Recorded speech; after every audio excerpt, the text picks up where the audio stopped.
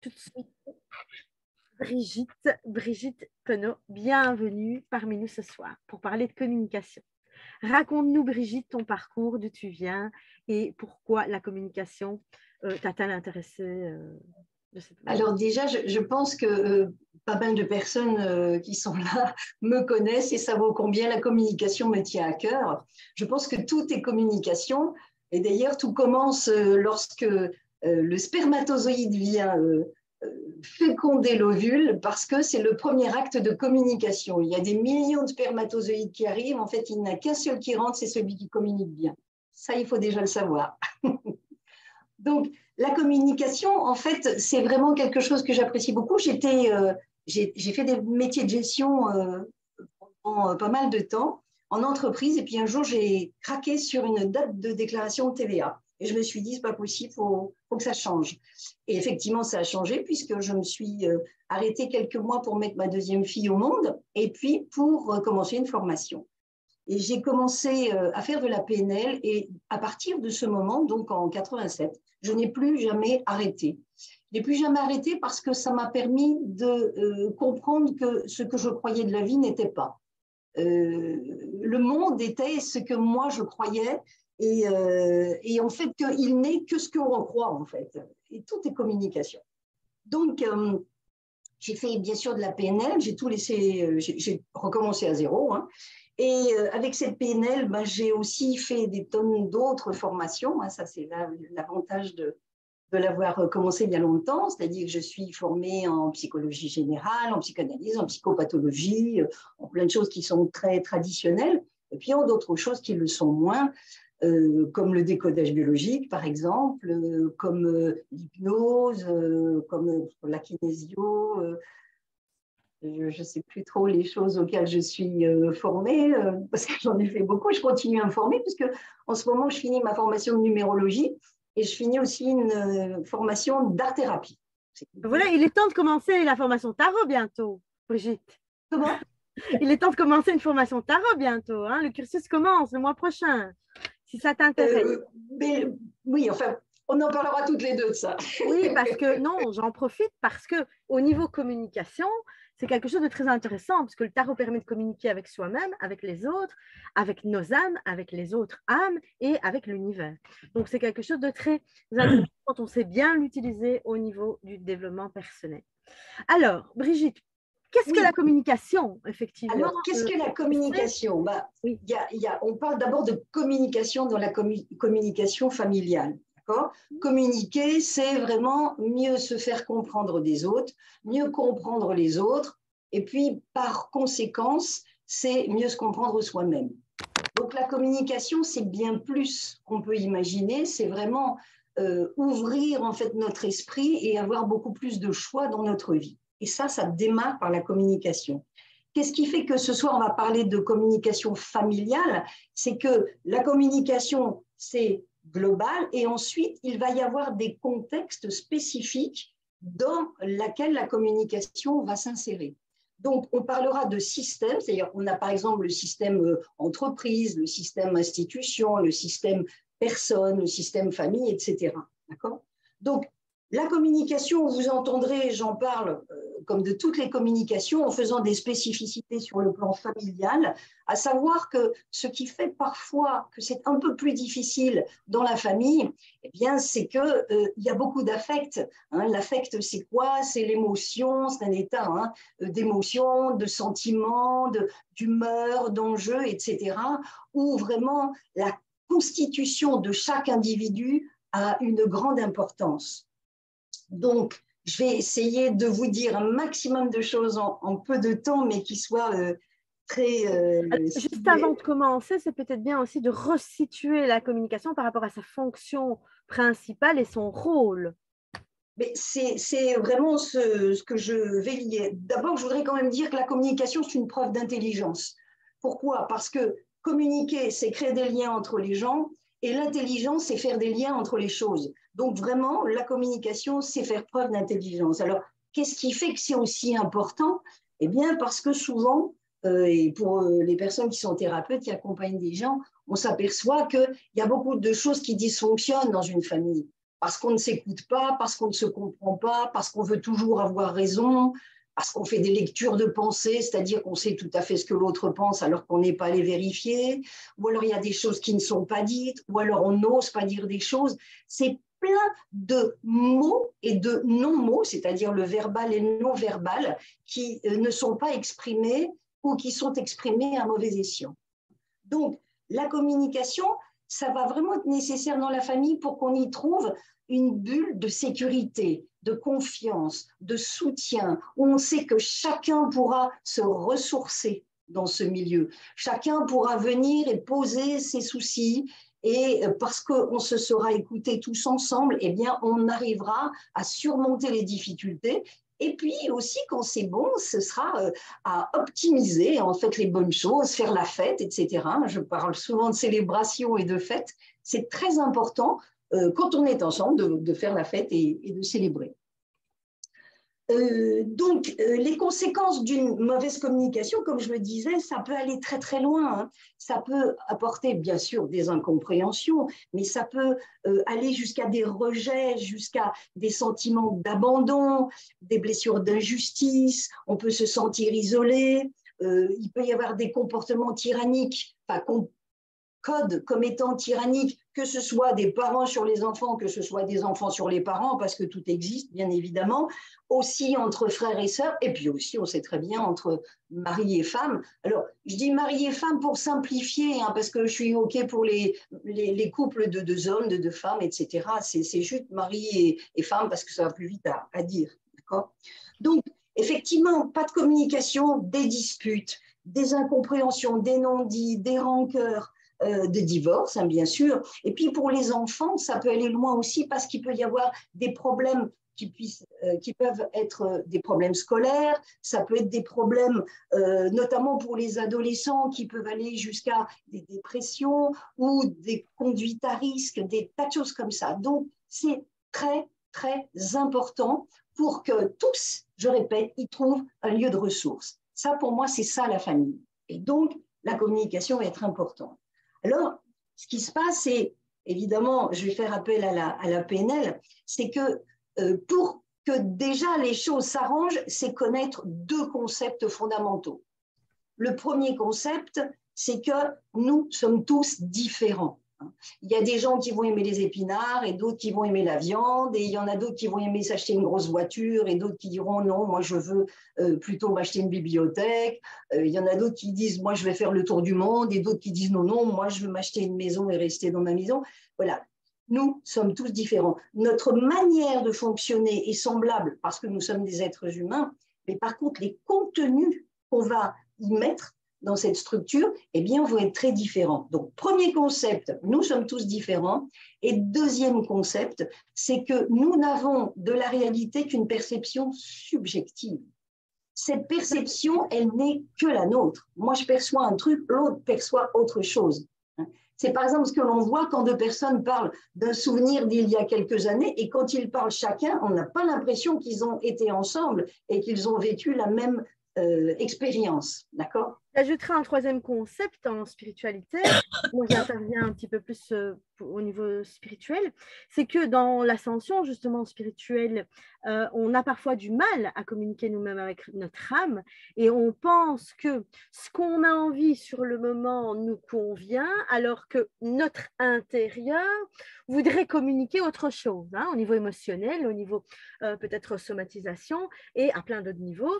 Et donc, on a du mal à communiquer vraiment avec notre intérieur. Et donc, évidemment, si déjà on n'arrive pas à communiquer bien avec nous-mêmes, avec notre âme, comment est-ce qu'on va pouvoir passer le message à nos proches qui, peut-être eux-mêmes, n'arrivent pas à communiquer avec leur âme?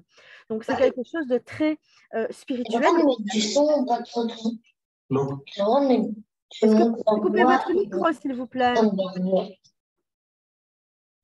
Est-ce que vous pouvez couper vos micros, s'il vous plaît? Merci.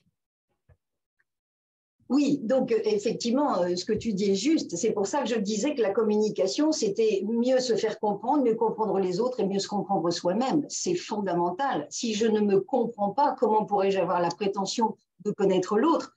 Cela dit, c'est souvent en essayant de connaître l'autre qu'on apprend à se connaître soi-même. Hein. C'est vraiment quelque chose de, pour moi, de réciproque. Euh, et, donc, une chose évidemment qui est très importante, c'est que comme nous sommes tous différents et que nous n'avons de la réalité qu'une perception subjective, eh bien, il faut bien se rendre compte que on est obligé quelque part de respecter en fait l'autre parce qu'il n'est ni mieux ni moins bien que nous, il est juste différent. Voilà. Ça, c'était pour euh, planter euh, le décor. Et j'aimerais bien, si tu veux bien, Calista, que tu mettes le tableau. Le partage, oui, tout de suite. Voilà, si tu partages ce tableau. Euh, j'arrive tout de suite.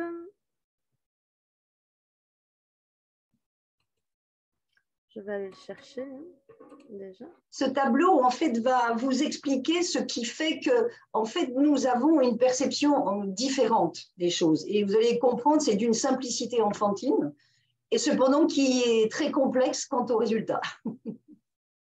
Alors, on va voir si j'arrive à le partager. Ça ne va pas. Alors, voilà. Oui, c'est ça, création de la carte du monde. Voilà. Donc,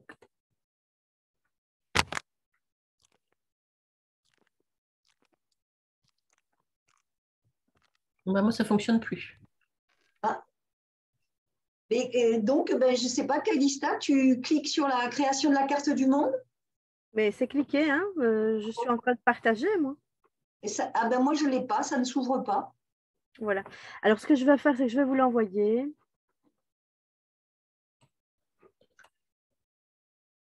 Je ne sais pas pourquoi ça ne s'ouvre pas parce que c'est en partage. Donc, ce n'est pas grave, je vais vous l'envoyer euh, à chacun. Simplement, je vais expliquer. C'est que lorsque on vit une expérience, elle va passer par beaucoup de processus et enfin de filtres d'abord et ensuite des processus qui font que justement cette réception d'informations, nous avons chacun notre manière de la traiter. Et la première chose qui se passe, c'est que lorsqu'on vit une expérience, pour qu'elle puisse rentrer à l'intérieur de nous, elle va passer par nos cinq sens, tout simplement. C'est-à-dire que je vais voir des choses, je vais entendre, je vais sentir, je vais goûter, je vais toucher des choses. Ce sont ce qu'on appelle les canaux sensoriels par lesquels va passer euh, cette information. Et c'est vrai que déjà là, il y a des choses différentes. Pourquoi? Parce qu'il y a des gens qui sont plus visuels, il y a des gens qui sont plus euh, auditifs ou des gens qui sont plus kinesthésiques, c'est-à-dire plus dans l'émotion. Et en fonction de ça, bien évidemment, rien que là, déjà, une chose va euh, être filtrée. Cette expérience va déjà être filtrée. Hein. Euh, je donne juste un exemple. Hein. C'est par exemple, madame me dit euh, On voudrait tellement qu'il me dise qu'il m'aime. Et puis monsieur lui dit Mais elle voit bien avec tout ce que je fais pour elle, elle voit bien que je l'aime. Et donc, on va être en mauvaise communication alors qu'en fait, on dit la même chose, mais la façon d'intégrer une information va être différente. Donc, il y a déjà ce filtre sensoriel. Ensuite, il y a des filtres physiologiques, c'est-à-dire en fonction de ma constitution euh, physiologique, par exemple, avec mes... Ah, super, voilà, génial. Donc, on a vu les filtres sensoriels. Maintenant, les filtres physiologiques, mon anatomie, en fait, va euh, avoir un impact sur euh, ce que je vais vivre. Par exemple, si j'ai, pour les hommes, c'est souvent le cas, ils ont de la testostérone et ils ont donc, par exemple, une grande aptitude à combattre pour les femmes qui ont plus d'ocytocine, elles ont une grande aptitude en fait à recevoir, à s'occuper des enfants, voir les enfants, etc. Donc l'anatomie nous donne déjà euh, encore un filtre en plus sur euh, l'expérience. Le tempérament aussi. Vous avez des gens qui sont plus anxieux que d'autres. Vous avez des gens qui sont plus lymphatiques, qui sont plus nerveux ou qui sont plus bilieux. Eh bien, en fonction des tempéraments, encore une fois, je vais percevoir l'expérience que je viens de vivre différemment. Ensuite, les filtres personnels que vous connaissez tous, en fonction de l'éducation que j'ai reçue, il est évident que ma manière de recevoir les choses va être différente. Par exemple, si on est 15 euh, à regarder la télé, eh bien, il y a des gens qui vont dire oh là là, cette euh, personne-là euh, euh, a fait ça, elle n'a pas été respectante, elle n'a pas fait ceci ou cela. Et d'autres personnes diront, mais non, au contraire, c'est quelqu'un qui était très naturel et qui a fait ce qu'il fallait.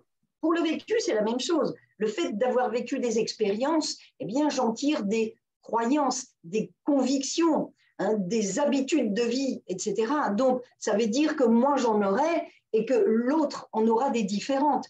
Ce qui explique déjà, rien qu'avec ce que je vous expliquais, que quand on est une personne avec une autre personne qui forme un couple, ensuite un enfant, deux enfants, plus il y aura d'enfants et plus nous aurons de spécificités dans les membres de ce système, d'accord? Dans le système familial. Les origines sociales aussi, elles sont différentes. Quelqu'un qui euh, habite, euh, je ne sais pas, Monaco, euh, par exemple, vivra différemment de quelqu'un qui vit dans une cité dans le 93. Pour les origines culturelles, c'est la même chose. La culture, et tous les jours, on n'a qu'à regarder la télé. D'ailleurs, les religieuses et, les origines culturelles, on sait très bien, encore une fois, juste en ouvrant la télé, que on a vraiment des, des, choses terribles qui se passent à cause de ça. D'accord? Et puis, une fois donc j'ai fait passer, ça se fait vite, hein, bien évidemment, toute cette information par ces filtres, eh bien, ça va rentrer dans mon cerveau. Et notre cerveau, selon la loi de Miller, qui ne peut intégrer que cette information plus ou moins d'eux de manière consciente, eh ben, il ne peut pas prendre tout d'une expérience. Donc, premièrement, il fait des omissions. Ensuite, il va faire des distorsions. Pourquoi? Parce que les distorsions, c'est ça, la représentation. Et il va faire des généralisations, il va dire c'est tout le temps comme ça. Un exemple, je vois une maison, alors une maison qui est tout à fait réelle, à la campagne par exemple. Je vais d'abord faire une première omission, c'est que je ne vais pas voir ces milliers d'informations qu'il y a. Inconsciemment, il est possible que je les engrange, mais pas consciemment. Ensuite, je vais faire des généralisations. Je vais dire, tiens, ce type de maison, euh, ce sont des maisons qu'on trouve toujours, euh, par exemple, en Beauce. Et puis, une fois que j'ai fait ça, je vais donner une distorsion, c'est-à-dire je vais donner mon opinion.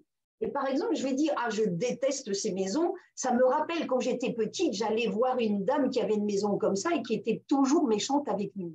Et ça y est, j'ai déjà complètement transformé la représentation de cette expérience que je vis. C'est ce qu'on appelle une représentation interne. Et une fois que j'ai cette représentation, ben c'est ça mon modèle du monde. Ensuite, si j'ai besoin de le mettre à l'extérieur, donc je le mettrai à l'extérieur selon ma propre manière de parler. Si je suis plus visuel, je parlerai de ce que j'ai vu. Euh, si euh, je suis euh, plus auditif, c'est pareil, je parlerai de ce que j'ai entendu, etc., etc. Et cette communication verbale, elle va passer par les mots, et la communication non verbale, c'est tout ce que je manifeste, que ce soit avec ma respiration, ma couleur de peau, mes mimiques, ma gestuelle, ma posture, etc. Donc, vous vous rendez compte que comme tout le monde va faire passer l'information par tous ces filtres, ça nous donne des milliers, des milliards et des milliards de, de combinaisons possibles. D'où la difficulté de se comprendre les uns les autres sur qu'est-ce qui est fait dans notre perception des informations. OK? Tu peux remettre l'écran euh, normal, Kalissa, s'il te plaît? Donc, on parle de communication familiale. La famille, c'est le système. La famille, c'est le terreau dans lequel l'enfant va se construire. Il va s'individuer, il va déterminer ses valeurs, ses croyances, ses convictions, ses aptitudes, ses comportements, etc. Et sa relation à l'autre, bien évidemment. C'est aussi le lieu d'épanouissement du père et le lieu d'épanouissement de la mère ou des figures paternelles et maternelles. D'accord? C'est-à-dire que, en fait, dans ce système, tout le monde doit s'épanouir à la fois en tant qu'individu et à la fois euh, comme des parents, en l'occurrence, là, c'est-à-dire qu'ils sont responsables euh, de, leurs enfants, enfin, ils sont responsables dans l'accompagnement qu'ils vont faire pour que ces enfants soient des euh, futurs adultes qui sont responsables conscients et acteurs de leur vie, autonomes, bien évidemment. Et donc, ça fait aussi plusieurs rôles pour les mêmes personnes dans un même système. Ensuite, euh, donc je disais les parents, effectivement, euh, ils sont garants de ce système. C'est eux qui sont garants. Hein. Dans d'autres systèmes, ce serait peut-être autre chose, mais là, ils se doivent en fait d'être en symbiose eux-mêmes, maman, papa, pour pouvoir créer la symbiose en fait dans ce système. Ils doivent gérer le système en quelque sorte. Et donc, ils doivent communiquer aussi efficacement entre eux. D'où souvent on dit si papa et maman ne sont pas d'accord devant les enfants, ils doivent l'être. Ça, c'est important, bien évidemment. euh, ils sont aussi source de plaisir de l'enfant. C'est-à-dire qu'ils doivent, euh, on, va, en parler après hein, sur comment est-ce qu'on crée un cadre sécure, eh bien, il doit faire comprendre les règles du cadre. Tu n'as pas ton, ton micro tu m'entends, oui, pardon. Euh, je, voudrais poser une question, je voudrais intervenir. Euh, lorsque tu dis euh, les, les, les, parents, s'ils ne sont pas d'accord, doivent être d'accord devant les enfants, tu pourrais développer, s'il te plaît? Alors, ça, c'est le fait d'avoir un seul, de donner un seul message à l'enfant. Parce que s'il a un message, puis un autre message contraire, automatiquement, soit il ne sait plus à quel sens se vouer, comme on dit, ou alors il va en profiter. C'est-à-dire que les enfants sont très intelligents, s'ils savent que quand je demande à maman, elle dit non, et que je demande à papa, il dit oui, automatiquement, il y a quelque chose de, il y a une dichotomie qui va se créer et ça va poser justement des problèmes. Donc, c'est de dire, on peut ne pas être d'accord, mais pas le dire devant l'enfant. On en discute et ensuite on répond à l'enfant. C'est vraiment une séquence qu'il faut mettre en place, en fait. Parce que le problème, c'est que si on est toujours d'accord, on ne confronte pas non plus l'enfant à. J'ai pas dit être toujours d'accord. J'ai dit on en parle avant. C'est-à-dire qu'on va. Il ne faut pas oublier que la communication, c'est une négociation. Alors, si on est toujours d'accord devant l'enfant et que l'enfant ne voit jamais l'exemple d'une négociation, c'est-à-dire je ne suis pas d'accord gentiment, mais mon opinion, c'est celui-ci. Quelle est ton opinion? Et montrer un exemple qui manque, je trouve, des fois dans une éducation, euh, pour créer un adulte justement qui va s'assumer, assumer ses valeurs profondes, ses, ses, choix et ses responsabilités. Oui, mais je suis complètement d'accord avec ce que tu dis. Ce que je dis, c'est qu'il ne faut pas que quelqu'un dise oui et non devant l'enfant ou alors de dire, tiens, nous ne sommes pas d'accord, alors nous allons discuter tous les deux, que ce soit devant l'enfant ou pas devant l'enfant, tout va dépendre de l'importance du problème. Encore une fois. Si donc l'enfant doit voir que des parents qui sont toujours d'accord. Je ne dis pas ça. Je ne dis pas qu'ils doivent être d'accord. Je dois dire que si. Laisse-moi poser ma question, Brigitte, s'il te plaît. Tu es en train de dire ça. Tu es en train de dire que si les deux parties ne sont pas d'accord, ils ne peuvent pas en discuter devant l'enfant, ils doivent en discuter à part pour arriver devant l'enfant à trouver une conclusion de manière à ce que l'enfant voit une seule décision et pas deux. C'est ce que j'ai compris. Alors, peut-être me suis-je mal exprimée. Ce que je veux dire, c'est que si maman dit oui et que papa, dit non, il ne faut pas qu'on le dise devant l'enfant en disant moi c'est oui, moi c'est non. Parce que, je répète, l'enfant perd ses repères. OK? Ce que je veux dire après, c'est qu'on en discute, papa et maman, d'accord? Et qu'ils vont ensuite donner une réponse cohérente. Ils n'ont pas besoin d'être d'accord, ils ont besoin d'être cohérents. Simplement, si je dis oui, enfin si j'ai un oui et si j'ai un non de l'autre côté, il n'y a pas de cohérence. C'est ça que j'ai. Pourquoi est-ce qu'il n'y a pas de cohérence si chacun, chaque individu respecte sa pensée? Pourquoi est-ce que ça ne serait pas quelque chose de cohérent? Eh ben, ce ne serait pas cohérent. qu'on doit commencer Alors, Je vais prendre un exemple concret. Oui, alors je ne suis pas en train d'aller de, contre toi, hein. j'essaie de comprendre. Moi, j'ai étudié psychologie de l'enfant justement et je trouve qu'il y a une carence dans, euh, dans ce secteur-là. Parce que l'enfant, s'il voit que des, des personnes où, tout va toujours bien, il n'apprend pas à s'affirmer. Et je trouve. Je suis pas du tout en train de dire ça. Je suis pas du tout en train de dire ça. Je suis en train de dire si par exemple il est 19h30 et puis que l'enfant dit Oh maman, je prends un bonbon et que maman dit ah bah non, il est 19h30, on va manger dans un quart d'heure, et puis que papa dit oh bah oui, tu peux, je suis désolée, ça c'est incohérent en termes de principe éducatif. Donc c'est de dire ce bonbon, tu pourras l'avoir après manger, mais pas pendant. Babette, tu voulais dire quelque chose? Pour moi, c'est vraiment la, différence euh, entre être en conflit devant l'enfant ouvert de moi j'ai raison, non c'est moi, qui, est, qui à mon avis n'est pas éducatif, qui n'est pas de la négociation, et que oui, c'est important que les enfants ils puissent avoir des modèles de négociation devant eux, et puis des modèles qui merdent de temps en temps. Je suis d'accord avec toi, Babette, hein, tout à fait d'accord. Et, euh, pour moi, il y a deux niveaux. C'est je ne suis pas d'accord avec ton père ou je ne suis pas d'accord avec ta mère. C'est pas pareil de je donne une autorisation qui dit bleu et je donne une, autorisation qui dit blanc. Exact. Et c'est là que c'est sur le contenu, c'est pas sur la structure au-dessus, et qui met là l'enfant dans une confusion de à qui je vais être loyal. C'est ça. Et elle est où, il est où mon axe? Et ces, et ces, états de confusion-là, ils ne permettent rien d'apprendre, si ce n'est une grande compétence à vivre dans la confusion, ce qui est utile aussi dans la vie, mais voilà. L'idéal, l'idéal, ça serait justement de pouvoir dire mais je ne suis pas d'accord, euh, de s'asseoir tous les trois ensemble, d'expliquer pourquoi oui. maman ne veut pas, papa veut bien, et de trouver un accord commun tous les trois. Hein. Moi, je suis plus d'accord avec cette philosophie-là. Bien sûr. Mais sans rien que les parents et laisser toujours l'enfant à part qui à un moment donné ne va pas comprendre ce qui va toujours avoir un bel exemple en fait. Tu comprends? Oui et, et après la question c'est est-ce que tout doit être négocié et discuté devant l'enfant? Est-ce que j'ai le choix de? Mais effectivement que l'enfant il, il doit savoir qu'il y a des il y a des conflits et que les conflits c'est pas dangereux.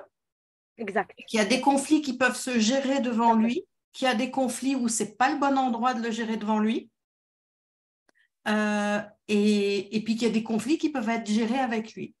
Parce que ça lui donne justement un outil, hein, un outil d'apprentissage pour plus tard, quand il sera confronté lui-même à des conflits, communiquer d'une manière meilleure aussi. Oui, tout à fait. Il aura appris ça.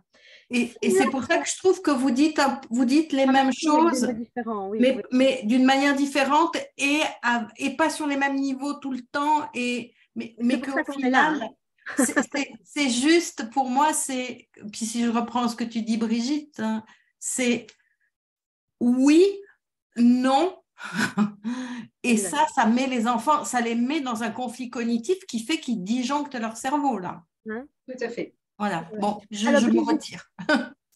Est-ce que quelqu'un veut poser une question à Brigitte? Est-ce que vous, voulez intervenir? Catherine, est-ce que tu veux dire quelque chose? Jusque-là non, ça va. Mais après la discussion, oui, vous avez raison et tort tous les deux, mais on ne peut pas toujours négocier avec les enfants. et ça dépend de l'âge. Ça dépend bah, de la discussion. Est-ce que c'est simplement une discussion ou est-ce qu'effectivement c'est éducatif? Parce que si c'est éducatif et qu'on ne fait pas front commun, euh, les enfants, effectivement, comme dit Brigitte, s'en servent. On est bien d'accord parce qu'ils sont très intelligents. Et, euh, et, oui, un minimum de cohérence pour, pour, pour la stabilité. Parce que ça peut être très perturbant pour des enfants aussi. Hein? je suis d'accord, tout dépend du sujet. Donc ça dépend de l'âge et ça dépend du sujet. D'un point de vue éducatif, je pense qu'il faut essayer de faire front commun. Et après, oui, dans la discussion, par rapport à l'actualité ou à plein de choses, on n'est pas obligé d'être d'accord et l'enfant, il peut très bien participer. Hein? mais bon, d'un point de vue éducatif, moi, je pense qu'il faut quand même être cohérent, un minimum. Hein, et ça, je parle beaucoup de congruence. Hein, pour ceux qui ont fait de la PNL, vous savez ce que c'est. La congruence, elle est très importante parce que des parents qui sont incongruents avec des enfants, c'est vraiment euh, une perturbation pour eux. Hein. Donc euh, mhm. voilà. Donc je, continue. Je disais justement. Alors euh, on, va, continuer à faire le tour de table des questions et puis tu, tu, continueras, d'accord? On va, on va demander peut-être à Odile si elle veut interagir, si elle a une question à poser. Non, non, c'est clair pour moi, pas de, souci. Non, non, on peut continuer. Merci. Non, je n'ai pas de question, mais je suis d'accord qu'on ne peut pas tout négocier tout le temps. non, pas tout le temps, pas tout le temps. Mais moi, ce que j'avais compris au départ, c'est euh, il faut se retirer, être d'accord et présenter quelque chose de, de, de, de une solution globalisée hein, euh, directement à l'enfant. Mais j'ai dit pas toujours, parce que si tu le fais tout le temps, l'enfant, il n'apprend pas que devant justement un conflit ou un désaccord, on peut s'asseoir, on peut communiquer et on peut trouver une, solution tous ensemble. Et ça, je trouve que c'est très important et ça manque aussi bien dans les écoles euh, que dans les familles. Et quand tu dis tous ensemble, c'est vraiment important puisque communication, ça veut dire action commune. C'est partager, échanger. Hein. Donc, c'est très important. Donc, je disais, donc je parlais des parents qui doivent donner le modèle, effectivement, des modèles. Les enfants, en fait, vont bien sûr prendre de ce que les parents disent, mais également de ce qu'ils manifestent. Hein. euh, grâce à ces modèles, eh bien, et cette transmission de valeurs, d'attitudes, etc., ils vont apprendre à comment aimer, comment apprendre, euh, comment réussir sa vie, comment euh, se fixer des objectifs, comment rêver, etc., etc., plein de choses comme ça.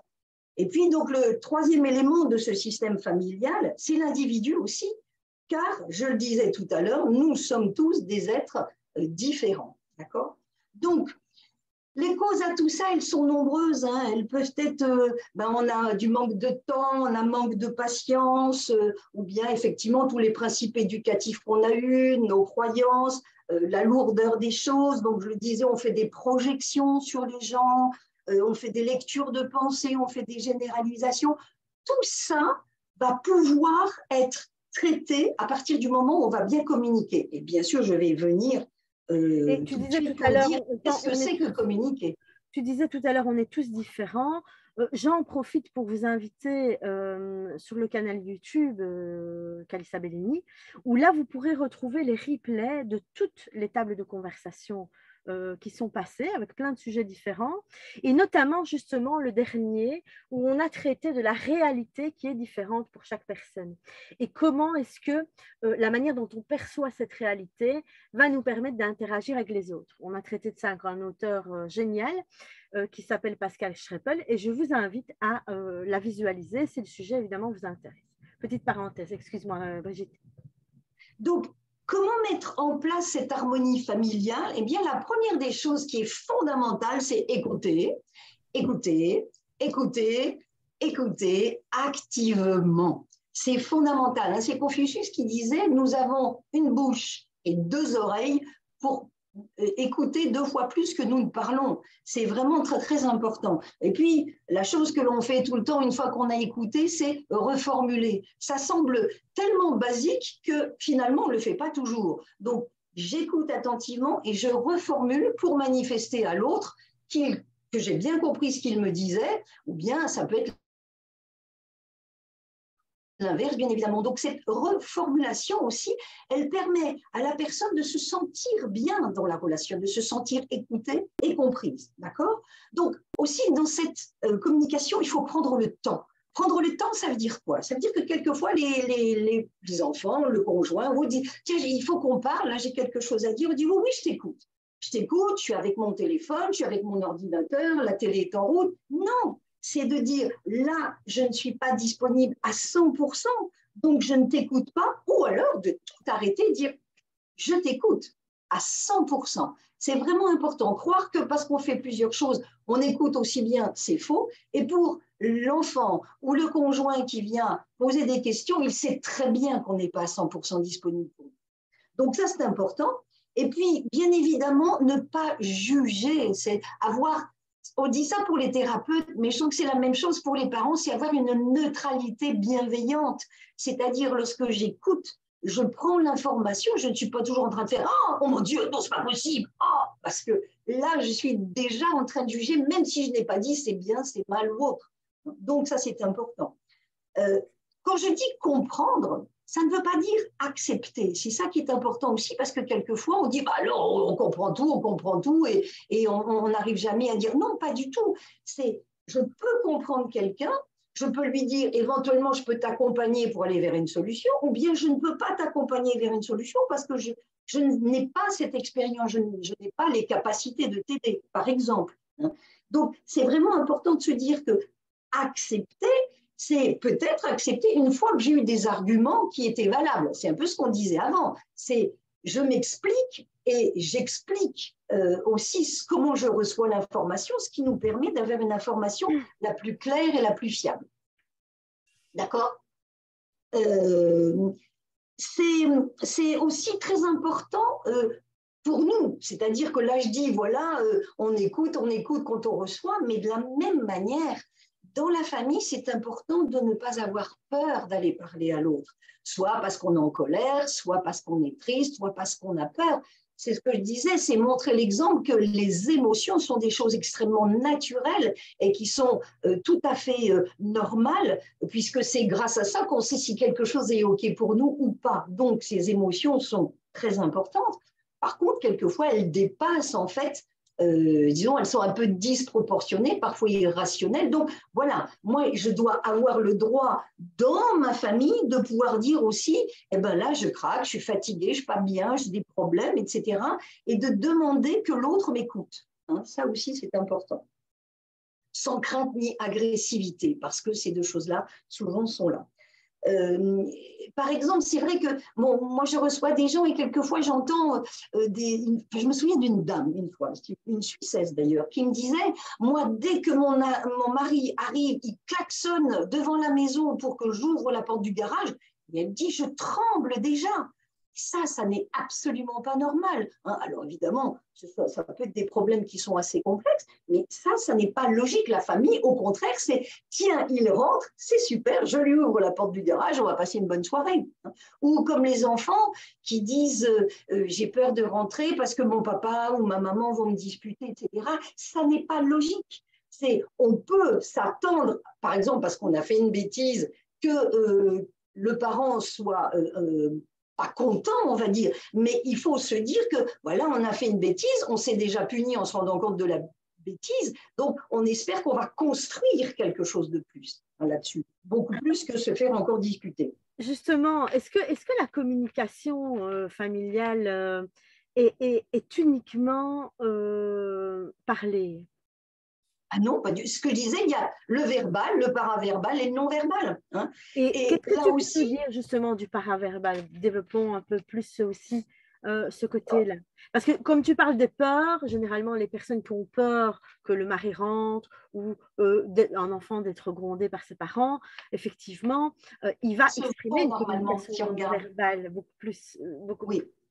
Donc bah, là, je vais carrément parler des outils de la PNL, hein, qui sont, on va euh, calibrer ce que l'on voit de la personne, comme je le disais. Il y a une couleur de peau, il y a des mimiques, euh, il y a euh, des gestuels, des postures, etc. Il y a aussi, on travaille beaucoup avec les accès oculaires, mais ça, je ne vais pas rentrer dans l'histoire.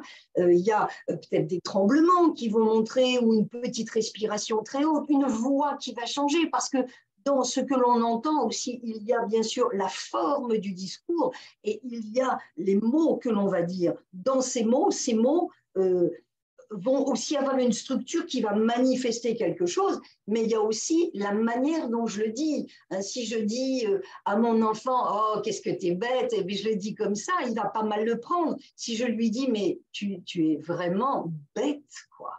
Et je vais dire les mêmes mots avec une intonation différente, ça n'aura pas du tout le même impact, bien sûr. Donc, il faut que je fasse attention à ce que je dis, attention à ce que je vois. Oui, Anne. Mais quand on a, alors, quand on a un rapport d'adulte, que personnellement, je ne vois pas souvent mes enfants, et parce qu'ils sont à l'étranger, et il y a des choses qui me chagrinent, mais j'arrive pas à le dire parce que le peu de temps que je passe avec eux, je veux pas le gâcher euh, parce que j'ai peur de les vexer ou d'être maladroite. Euh, vous parliez de peur, de tremblement. Personnellement, je moi, je vais vivre la peur de, de, de, me fâcher avec mon fils.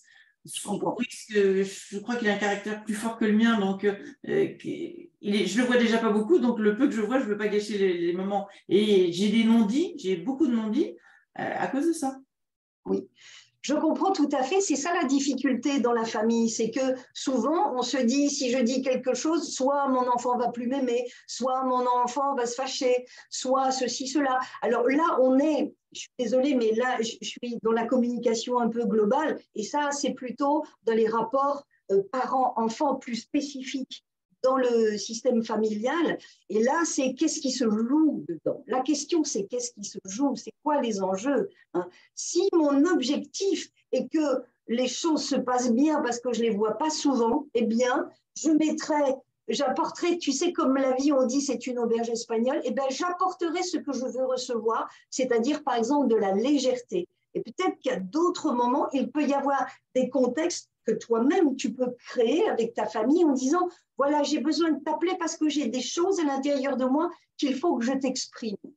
Et vraiment, à partir du moment où on a cette capacité de dire à l'autre j'ai ça, je t'aime, et juste, il y a des choses que je ne comprends pas. Est-ce que tu peux m'expliquer? Ou alors, euh, par exemple, voilà, je, je, ne suis pas en train de parler de toi, mais il y a des choses que je vois, par exemple, dans, je sais pas moi, dans ta relation à, ta conjointe, à ton conjoint, qui m'inquiètent. ça me fait peur, mais c'est de toi que tu parles à ce moment-là. Ce qui peut être gêné, c'est quand tu dis, mais tu as vu ce que tu as fait, tu as vu ce que tu as dit, comment tu penses, etc.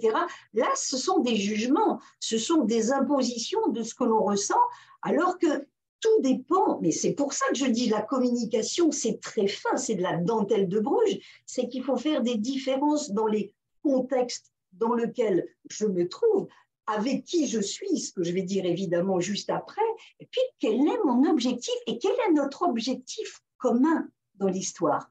Tu, comprends? Euh, Est-ce que je réponds à ce le jeu surtout, utiliser le jeu pour se dissocier de l'autre personne et comme tu l'as bien dit, justement, ne, pas, euh, ne pas être dans le jugement avec le tu as fait ça.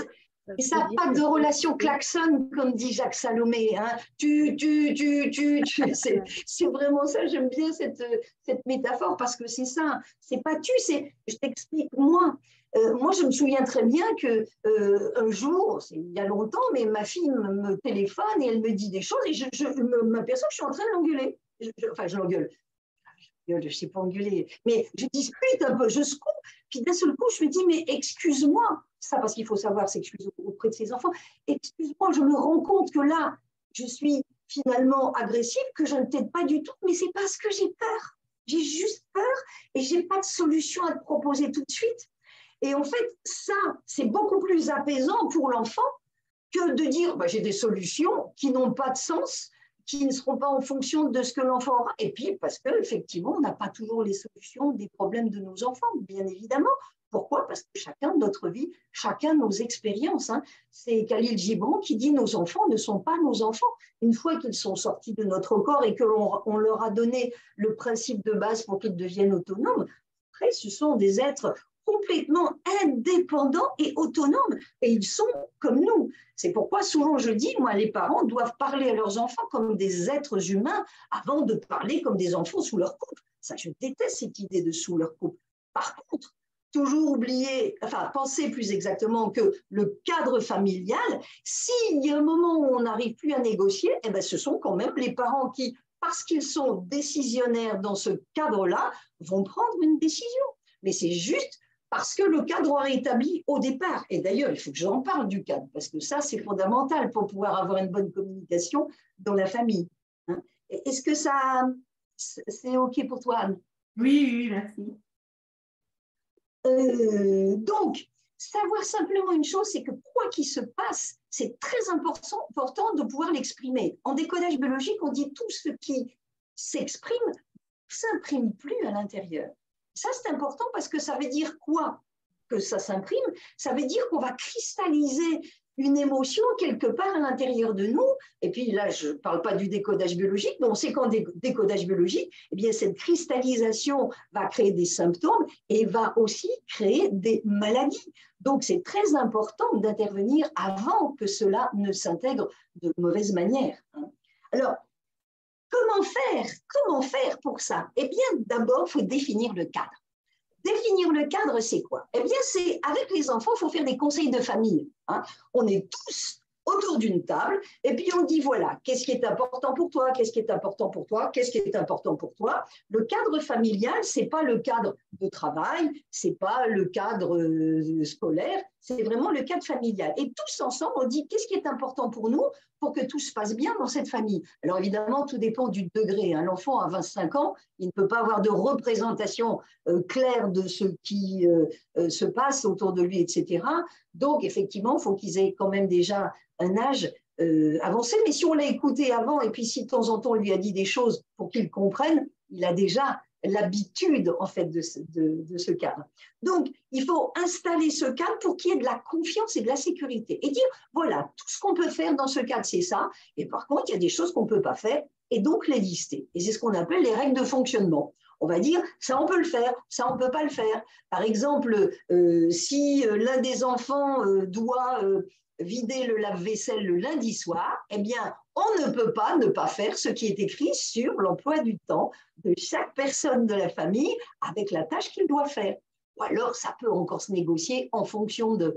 Euh, il n'y a pas longtemps, j'avais quelqu'un qui me disait, oui, euh, moi je révise mon bac et puis euh, ma mère veut encore que je m'occupe de la cuisine et tout, alors que mon frère, lui, il se roule les pouces, il n'a rien à faire, il est toujours devant la télé Donc, ça veut dire qu'il y a aussi des cas particuliers. Comme d'habitude, il y a des règles et il y a des cas particuliers. Donc, pardon, pardon. Euh, oui, je sais, il y a peut-être des personnes qui ne me connaissent pas, mais euh, j'aime bien justement d'aller en, profondeur. Et, comme je traite une thématique qui est beaucoup plus spirituelle que sociétale, je me demande qui met les règles et pourquoi. Parce que tes règles ne vont peut-être pas être les miennes. Alors, d'accord. c'est pour ça qu'il faut les faire ensemble. Oui, d'accord. Mais euh, la communication, normalement, devrait servir à la base, à l'origine, euh, à pouvoir te réaliser par rapport à tes propres valeurs profondes et par rapport à ce que tu es vraiment. C'est pour ça qu'il est important de connaître bien tous les membres de la famille, c'est-à-dire qu'un enfant qui, lui, aime bien être dans son coin, qu'il aime bien lire, on va pas lui dire, bon voilà, tous les mercredis, tous les jeudis, tous les vendredis, on va faire du sport. Il préfère lire, donc on ne va pas forcément l'obliger à faire du sport. À l'inverse, s'il préfère faire du sport le lundi, le mardi, tous les jours de la semaine s'il veut, il aura le droit de faire ça.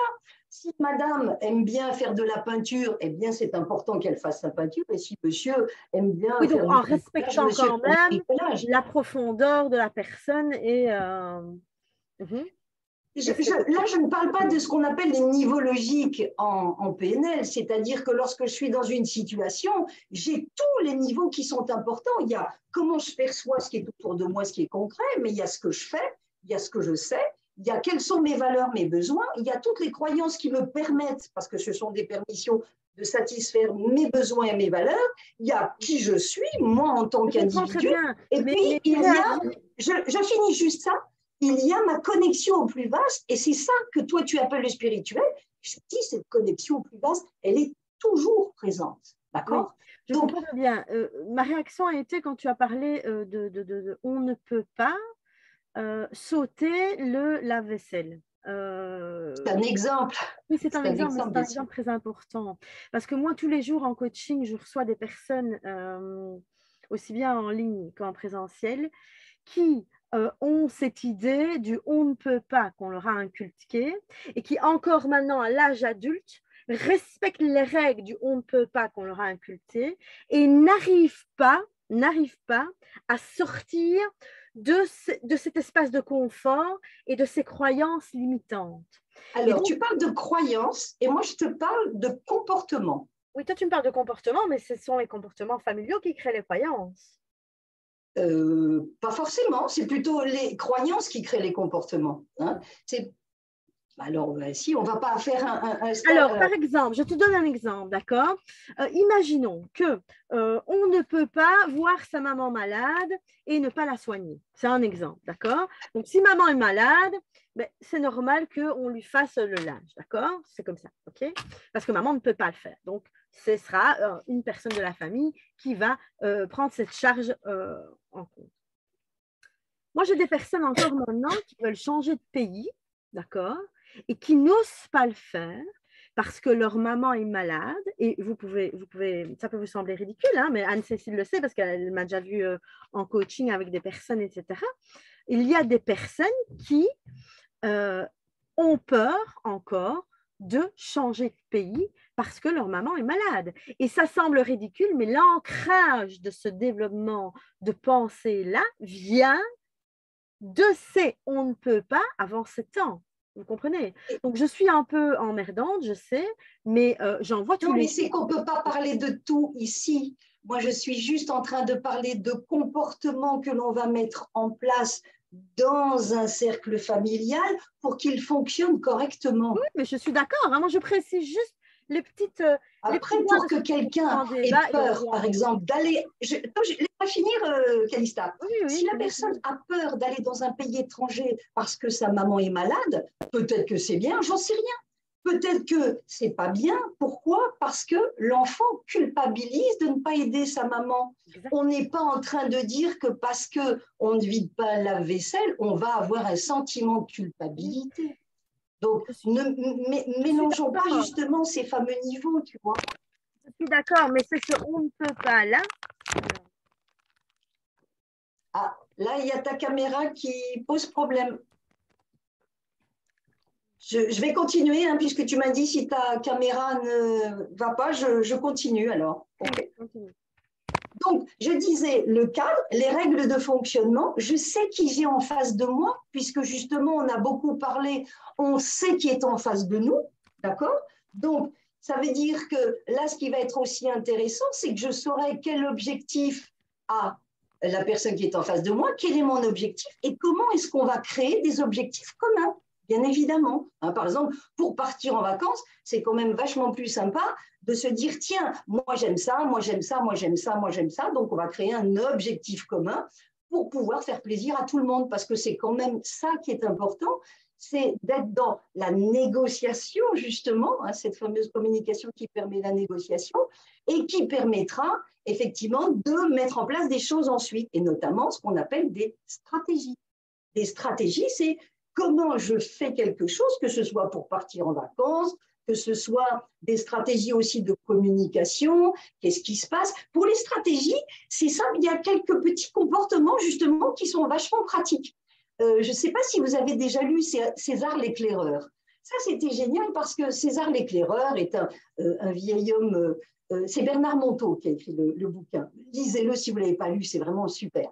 Et en fait, ce vieux sage dit, ben, vous voyez, par exemple, lorsque vous commencez à discuter, euh, euh, par exemple, l'homme et la femme commencent à se chicorer un petit peu, eh bien, pour ne pas partir dans un conflit où on serait dépassé par nos émotions ou par euh, des paroles qui seraient un peu graves, quoi faire? Il dit, vous créez ce qu'il appelle, lui, la, la cuillère du conflit. En fait, c'est un objet qui est dans la cuisine et dès qu'on commence à sentir que ça monte, c'est sortir cette cuillère du conflit. Pour ceux qui connaissent la PNL, c'est un peu un ancrage qui dit, OK, là, ça veut dire qu'on n'est pas d'accord et qu'il faut qu'on discute sérieusement, qu'on se mette vraiment chacun bien en face et puis qu'on se calme et qu'on discute de la, de, de la problématique. OK?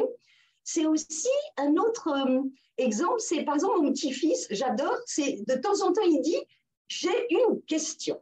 Et quand il dit j'ai une question, on sait que c'est pas n'importe quoi et que là, il faut s'arrêter, il faut l'écouter. Vous comprenez? Ce sont des espèces de codes qu'on va mettre entre nous en place et qui permettent justement de dire là, c'est un moment où on doit être attentionné, ou c'est un moment où on va aller courir ensemble, ou c'est un moment où on va au cinéma. C'est-à-dire, en fait, vraiment trouver euh, la manière dont on va manifester à l'autre ce qui est important pour nous et évidemment comprendre ce que l'autre veut aussi nous manifester. D'accord? Euh, donc voilà, ça c'est la stratégie. Et puis, et puis vraiment, ça, ça, on est déjà vers la fin de ce que je voulais vous dire, c'est que pour pouvoir faire tout ce que j'ai dit avant, il faut des ressources. Il faut des ressources. Les ressources, c'est évidemment savoir écouter. Bonjour le scoop savoir reformuler, bien évidemment. C'est rechercher la compréhension. C'est avoir de l'empathie. Hein. L'empathie, c'est quoi? C'est je vais sentir ce que l'autre ressent, non pas pour tomber dans son émotion, son sentiment, mais pour savoir de quoi il s'agit. Quelquefois, on est en train de parler avec les enfants, et puis l'enfant sourit, puis en fait, vous dites, c'est bizarre, j'ai peur, je sens qu'il y a quelque chose de peur. On lui dit, mais c'est bizarre, t'as T'as peur là? Et l'enfant dit Oh ben oui, finalement, j'ai peur. Et c'est ça l'empathie, c'est aller chercher par le ressenti ce que l'autre a à l'intérieur de lui, ce qui permet effectivement de comprendre. Euh, c'est poser des questions sans avoir les réponses le nombre de personnes qui posent des questions et qui savent déjà la réponse, en fait, qui s'en fichent. Euh, le, truc tout simple, c'est euh, ça ne te dérange pas que je fume et la personne allume sa cigarette. Eh bien, si ça me dérange que je fume, et là, la personne est étonnée. Mais dans ces cas-là, ne pose pas la question si tu, as, si tu as peur de la réponse. C'est tout simple, mais c'est vraiment des comportements de ce genre qui sont importants. C'est ne pas juger, comme je le disais déjà, c'est être vraiment bienveillant et constructif. Bienveillant, c'est j'accueille ce que la personne dit. Et constructif, c'est éventuellement je l'accompagne si elle en a besoin. D'accord? Être honnête. Le nombre de fois où on n'est pas honnête. Je reprends mon exemple de là, de dire je m'énerve, je m'énerve au téléphone. Ah et d'un seul coup, je me dis mais non, c'est parce que j'ai peur que je suis comme ça et c'est pas adéquat. Et là, je dois être honnête envers moi pour pouvoir être honnête envers l'autre. D'accord? Pas de tabou aussi. À partir du moment où on sait qu'il y a un tabou, on ne peut pas parler. Hein. c'est le principe du secret, du non-dit, qui peut vraiment entraîner des conséquences qui sont très graves. Il y a aider et accompagner si la personne le demande, parce que quelquefois, on va dire euh, ah, J'ai l'impression que quelque chose ne va pas, est-ce que tu veux qu'on en discute? Et la personne dit Non, non, ça va, je gère, je n'ai pas, pas envie de parler ou je n'ai pas envie de discuter. Si c'est ça, eh bien, on ne va pas forcément imposer sa présence. D'accord? Par contre, il faut faire attention notamment avec les adolescents, c'est que quelquefois les adolescents vont être dans une récurrence. Et si vous, vraiment, vous percevez des choses qui peuvent être inquiétantes et qu'elles sont récurrentes, là, quelquefois, il va falloir insister. Pourquoi? C'est pour que ne, pas que justement il y ait des conduites euh, ordaliques, dangereuses ou euh, une dépression ou des choses comme ça. Ensuite, c'est soi-même accepter d'être aidé et accompagné si on a besoin. Moi, je me souviens un moment, c'était après le décès de ma maman, et je venais de divorcer, j'allais très mal. Je retenais, vous savez, on ne pleure pas devant les enfants, etc. Et c'est ma fille aînée qui très gentiment m'a dit, tu sais, maman, si tu pleures, c'est bien. Et, et ben, j'ai pleuré, et vraiment, ça fait du bien. Et là, ça rapproche vraiment on est vraiment deux êtres ensemble. On n'est pas une maman avec sa fille, on est deux êtres qui s'autorisent à manifester quelque chose qui va être partagé du coup beaucoup plus léger. Euh, savoir exprimer ses besoins aussi, ça c'est important. Comme disait euh, tout à l'heure Calista, c'est vrai que si je ne sais pas exprimer mes besoins, comment les autres peuvent savoir quels sont mes besoins?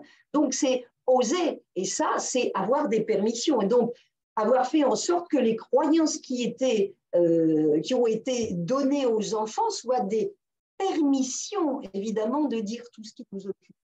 C'est aussi euh, ne pas vouloir faire le bonheur de l'autre à tout prix. Hein. J'ai euh, un mur sur lequel il y a une grande phrase qui est le vrai bonheur ne dépend d'aucun être, d'aucun objet extérieur. Il ne dépend que de nous. Ça, c'est important. C'est-à-dire que si je dis, mais je fais ça, c'est pour ton bien, le nombre de fois où on entend ça, et ça fait des catastrophes, au contraire. Hein. Ça ne veut pas dire que vous n'avez pas de bonnes idées, mais ça veut dire que vous pouvez dire, oh, ce sont des alternatives, ce sont des hypothèses, et surtout pas imposées, parce qu'effectivement, ça peut être plutôt destructeur qu'autre chose. C'est aussi, et c'est pour ça que je l'ai, tu vois, Calista, c'est ne pas vouloir absolument euh, le, enfin, ne pas culpabiliser, en fait, ça je viens de le dire, et c'est aussi euh, ne pas culpabiliser quand on n'est pas forcément là pour quelqu'un. Euh, moi, j'ai beaucoup voyagé lorsque j'étais jeune, et donc mes enfants, je enfin, ma fille aînée, je l'ai vue pas mal, j'ai fait plein de bêtises, et ensuite j'ai eu mon autre fille avec laquelle j'ai fait beaucoup moins de bêtises, et par contre, j'étais beaucoup moins là. Eh bien, l'accent euh, sur lequel on mettait notre relation, c'était sur la qualité de relation. Et donc, justement, la qualité de relation, elle passe par cette communication. Beaucoup se voir n'est pas forcément bien, mais être bien lorsqu'on se voit, c'est vraiment l'essentiel. Ça, c'est vraiment ce qui est génial. Et toi, ça répond à ta question, Anne, de tout à l'heure. Moi, j'ai des enfants en plus euh, qui sont partis aussi à l'étranger, etc. À chaque fois qu'on se voit, c'est la fête. C'est la fête. Et il n'y a que ça qui est important mais parce qu'on est tous d'accord pour pouvoir le faire, bien évidemment. Ce qui ne veut pas dire que nous n'avons pas des soucis, des problèmes, etc. Et que nous pouvons aussi en parler en essayant, encore une fois, d'être constructifs et bienveillants.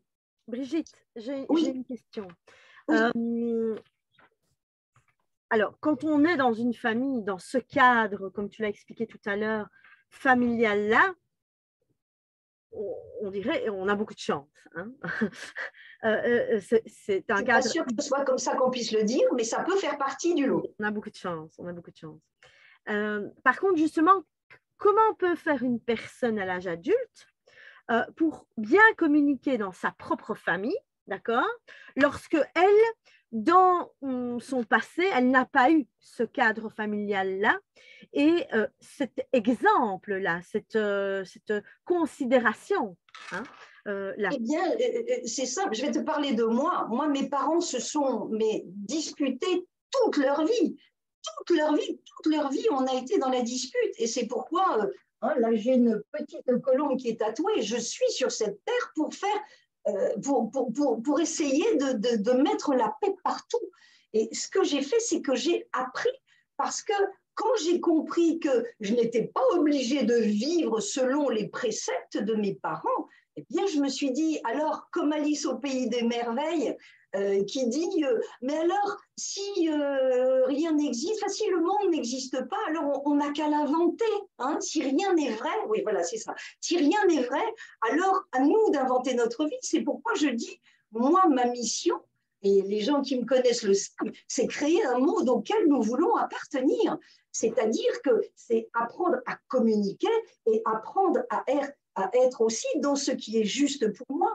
Par exemple, dans mon monde aujourd'hui, je peux dire qu'il n'y a pas de gens qui soient désagréables, qui mettent des choses négatives dans ma vie. Et quand je dis dans ma vie, c'est dans mon cercle familial, parce que ma, famille est très importante pour moi. Le fait que j'ai divorcé trois fois faisait que chaque fois je me disais, oh, mais la famille, c'est pas possible, la famille, c'est pas possible. Et en fait, bah, j'ai créé une famille qui a juste allé avec mes enfants, mes petits-enfants, et j'espère bien connaître un jour mes arrière-petits-enfants.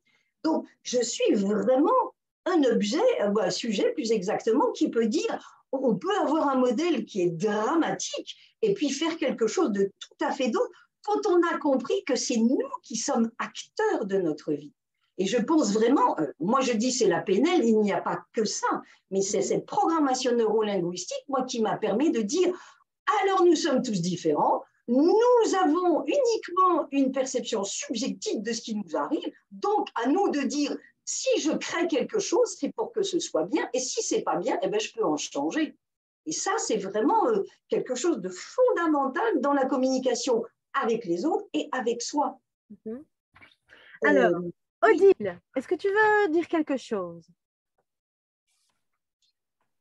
Euh, ben, je valide, euh, je suis juste d'accord avec tout ce que Brigitte a partagé. En fait, alors c'est peut-être ma formation PNListe qui fait ça et, ma propre expérience. Après, peut-être je vais rejoindre aussi un petit peu ce que tu disais au départ, c'est que pour mieux communiquer avec les autres, c'est mieux communiquer avec, soi-même. Et euh, ça passe d'abord par là, donc c'est beaucoup plus facile d'être en communication avec l'environnement familial euh, quand on, sait déjà ce qu'on ressent, ce qu'on a à transmettre. Et, peut-être que le premier pas, la première chose à faire, c'est celle-là pour répondre à la question que tu viens de poser à, Brigitte. En fait, quand on, sent que ça bloque, ben, c'est nous en fait. On est les seules personnes à pouvoir faire avancer le truc. En fait, il faut avoir l'espoir que ça peut changer pour commencer. Parce qu'après, si on a cet espoir de pouvoir changer, alors on va vraiment changer. On va vraiment être l'acteur de, la conviction. Hein. la conviction. Pardon? Je dis la conviction. Oui, oui, oui, bah, la conviction, la croyance, bien évidemment. Moi, je dis l'espoir parce que c'est d'abord l'espoir et après mm. on y croit. Hein. C'est ouvert au possible et ensuite on croit au possible. Euh, voilà pourquoi je le dis comme ça. Donc, euh, en tout cas, c'est possible. Et je répète, j'ai fait plein d'erreurs. J'ai commencé à, à, changer mon comportement à 33 ans et j'ai eu ma première fille à 22 ans. Donc, c'est pour vous dire à quel point j'ai fait des bêtises pendant 10 ans. Et juste aujourd'hui, ma fille me dit, il y a maman avant et il y a maman après. Et souvent, même elle me dit, j'aurais bien aimé avoir l'éducation que tu as donnée à Myriam, donc à la plus jeune. C'est vrai. Et juste ce que je lui explique, c'est que j'ai culpabilisé un temps et après, j'ai, pas, j'ai arrêté de culpabiliser parce que à l'époque, je n'avais pas d'autres ressources à ma disposition qui me permettaient d'être une, une, maman plus écoutante, plus communicante, plus compréhensive, etc. Je ne savais pas. J'avais, comme tu disais, un modèle qui était plutôt dramatique et on m'a jamais, moi, j'ai jamais eu d'aide par rapport à ça. Donc, il fallait que je me débrouille. Et j'ai trouvé comment faire à partir de ce moment-là, grâce à cette PNL. Et c'est pourquoi aujourd'hui, euh, enfin, j'ai jamais arrêté depuis. Parce que je me dis, aujourd'hui, j'ai envie de partager ces outils avec tout le monde. Parce qu'on parle justement de, communication familiale aujourd'hui, mais euh, c'est un peu le même principe euh, lorsqu'on communique pour vendre un produit ou pour, pour ou, ou, pour euh, développer une entreprise. C'est exactement le même principe. Hein. C'est le besoin de l'autre pour y répondre plus, plus, plus facilement. justement. Tout à fait. Euh, oui, donc tout, tout, part de là, dans l'écoute surtout. Alors, euh, Catherine, est-ce que tu veux poser une question à Brigitte? Est-ce que tu veux intervenir? Non? Babette? Non? Anne? Non plus, Patrice? Est-ce que tu veux intervenir? Il faut activer ton micro, Patrice. Je ne vois pas, Patrice. Ah si. Patrice, il est là, mais euh, je crois qu'il ne nous entend pas. Anne-Cécile? Non, non, c'est bon. J'essaie de réfléchir à mon vécu. Je crois qu'on. Moi aussi, j'ai vécu avec des parents conflictuels et euh, j'ai toujours essayé de, surtout de ne pas faire la même chose. Mais en, voulant ne pas faire la même chose, on se rend compte qu'on ne peut pas s'empêcher de reproduire certaines choses. C'est très compliqué en fait. C'est-à-dire qu'effectivement, par rapport à ça, c'est ce que je dis un petit peu après. En fait, c'est euh, en fait, on, a sur notre dos, si je puis dire, tout notre passif, hein, tout, ce qui est transgénérationnel, notre éducation, notre vécu, etc. Et donc, ça, c'est vraiment important de ne pas l'imposer aux autres. Euh, et, c'est vrai que euh, lorsqu'on a effectivement des enfants à notre tour, qu'est-ce qu'on va faire? Eh ben, On va se dire, il faut surtout pas que je fasse comme mes parents, ou au contraire, on va dire, oh, c'était super, il faut que je fasse comme eux. Mais comme nous, on n'est pas comme eux, et que nos enfants ne sont pas comme nous, nous étions quand nous étions enfants, c'est quelque chose qu'il faut de nouveau réinventer. À chaque fois qu'on rencontre quelque chose, eh bien, euh, qu'on rencontre quelqu'un, pardon, eh bien, on va faire des choses différentes parce que la personne qui est en face de nous est différente et puis parce que nous n'avons pas les mêmes perceptions des gens. Euh, si je suis dans la rue, je, vais rencontrer les gens d'une certaine manière. S'ils sont euh, dans mon cabinet, ça va être différent. Si on est en, formation, ça va être différent. Si je vais danser, ça va être différent. C'est-à-dire que vraiment, ça dépend du contexte. On dit bien le contexte donne le sens hein, d'un comportement. Et, ça, ça, va être euh, cette euh, spécificité. À chaque fois que je rencontre quelqu'un, c'est différent. Euh, et, c'est ça qui est fabuleux, c'est ça que j'aime dans mon métier, c'est que à chaque fois que je rencontre quelqu'un, je m'enrichis. À chaque fois, j'ai quelque chose de plus. Pourquoi?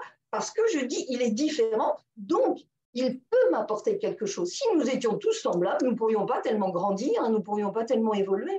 Donc, c'est ça qui est intéressant dans la rencontre à l'autre. Effectivement, c'est différent à chaque fois. Et c'est pas facile.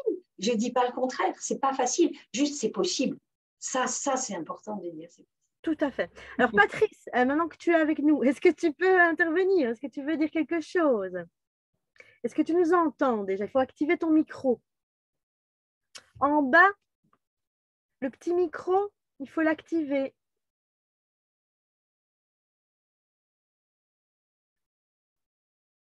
Ça pas l'air de J'y ah, suis. Bonjour. Déjà, bonjour à tous. Patrice. Je suis sorti. Donc, déjà, bonjour, bonjour à toutes et à tous. J'ai entendu un tous, mais je ne le vois plus. Donc, euh, donc, euh, donc bonsoir. Euh, j'ai, donc, c'était un petit peu compliqué. J'ai fini le travail un peu tard. Je me suis occupé de ma fille. Je suis allé. J'étais en voiture. Donc, voilà. C'est, et ce que j'ai entendu m'a beaucoup intéressé. Déjà, bonjour Brigitte, bonjour euh, Odile que je connais, et bonjour aux autres aussi. Euh, donc, du coup. Euh, et, et, après, je, à, part, à part vous dire ça, dire des banalités comme ça, je ne vois pas. Voilà. si je veux rebondir quelque chose, quand tu dis tu t'enrichis quand tu croises quelqu'un, c'est parce que tu fais payer très cher ta référence? J'ai pas compris. Je m'enrichis quand je rencontre quelqu'un, quoi? Quand tu, quand, quand tu dis je m'enrichis quand je croise quelqu'un, c'est parce que tu fais payer ta séance pas, je ne comprends pas la fin de ta phrase. C'est parce que tu fais payer ta séance? Ah non Non, Dieu. Oh, oui, c'est une plaisanterie, mon Dieu.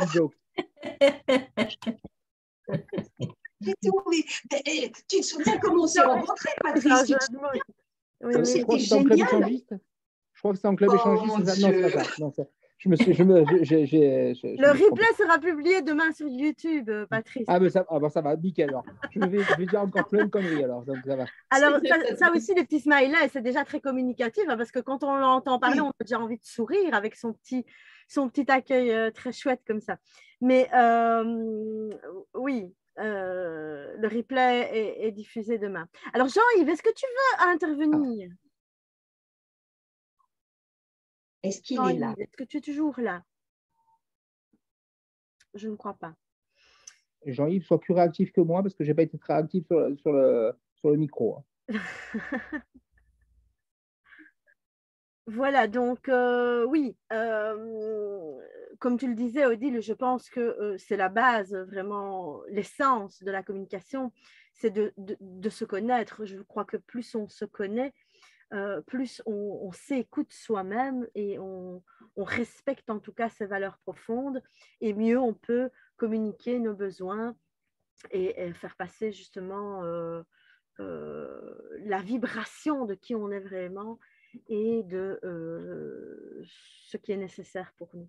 Ouais, mais c'est pas si facile que ça de se connaître non plus, hein. enfin, selon, ah, selon bah, vécu, selon le parcours. C'est amusant parce que c'est vraiment ma conclusion. C'est ça qui est intéressant ce que vous dites. Parce que je dis, si on a toutes ces ressources, il n'y a aucun problème, les choses vont bien se passer. Par contre, si on n'a pas tout ça, il y a écrit travailler sur soi en fonction des objectifs que l'on veut atteindre.